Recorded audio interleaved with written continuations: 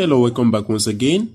Today we're going to evaluate this limit here. We have limit as x is approaching negative 1 of x cubed plus 1 divided by x to the power of 5 plus 1.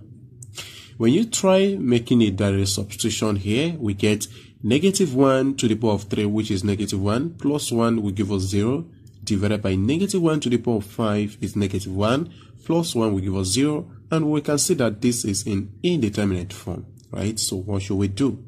Now in this video i'll be presenting two different methods. So let's start with the first method. And for my first method we're going to apply the L'Hopital's rule.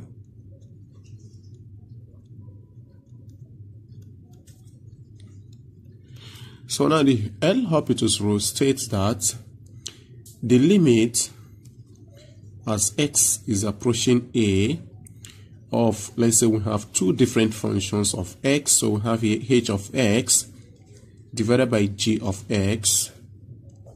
Then L' L'Hopital's rule states that this limit is also equal to limit as x is approaching a of the derivative of the upper function divided by the derivative of the one at the bottom right so we can see the derivative of h of x, which is h prime of x, divided by the derivative of g of x, which is g prime of x.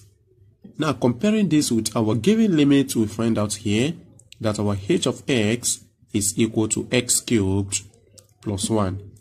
And our g of x is equal to x to the power of 5 plus 1. Now, to find the derivative from here, so we have h prime of x will be equal to, now let us take note of this power rule. When we have the derivative with respect to x of x to the power of n, this is the general case, right? So this is equal to multiplying by this power here, n, then subtracting 1 from the power. So make use of this here. We have x cubed here, so that will be 3 x raised to power 3 minus 1, which is 2 then plus derivative of a constant is 0. So therefore h prime of x is equal to 3x squared. And for g prime of x, so we're going to have 5x raised by 5 minus 1, which is 4, plus derivative of a constant is 0. So therefore, with the help of this L'Hopital's rule, so we can deduce that the limit as x is approaching negative 1 of x to the power of 3 plus 1 divided by x to the power of 5 oh, plus 1 oh sorry for that that this will be equal to limit as x is approaching negative 1 of 3x squared divided by 5x to the power of 4 then we are free to make our direct substitution from here. Remember this power of x is even and this power of x is even Therefore, the negative 1 to the power of an even number is 1. So therefore, we have 3 times 1, which is 3, divided by 5 times 1, which is 5. And here we have the right answer to the problem. So this limit is exactly equal to 3 all over 5. Now, what our what of our second method? We're going to solve this algebraically, right? So here we're going to solve it algebraically.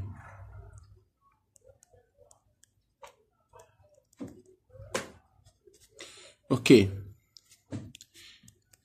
Now let us find a way to, should I say reduce? Okay, to simplify the given function.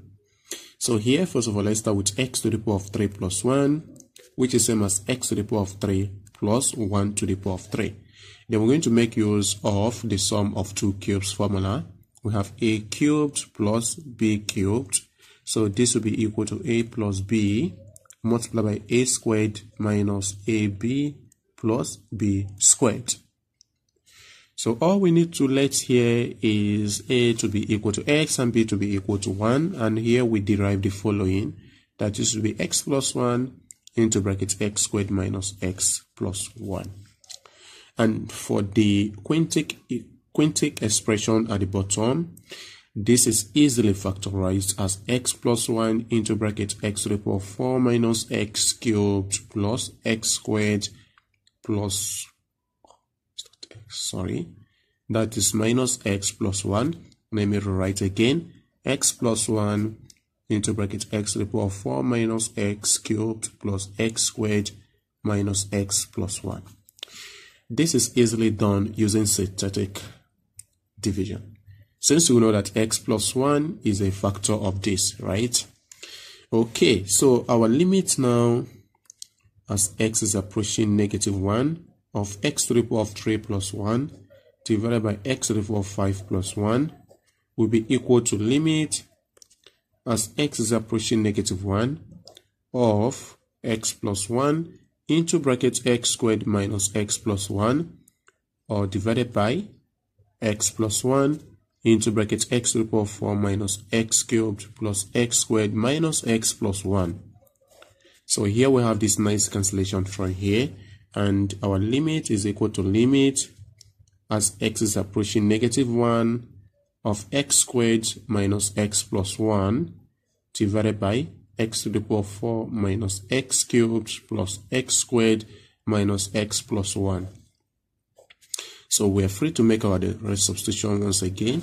So here Negative 1 squared is 1, then minus minus 1, which is 2, plus 1, that will give us 3, divided by, here we have 1, minus minus 1, which is 2, plus 1, 3, minus minus 1, which is 4, then plus 1, we have our right answer once again as 3 all over 5.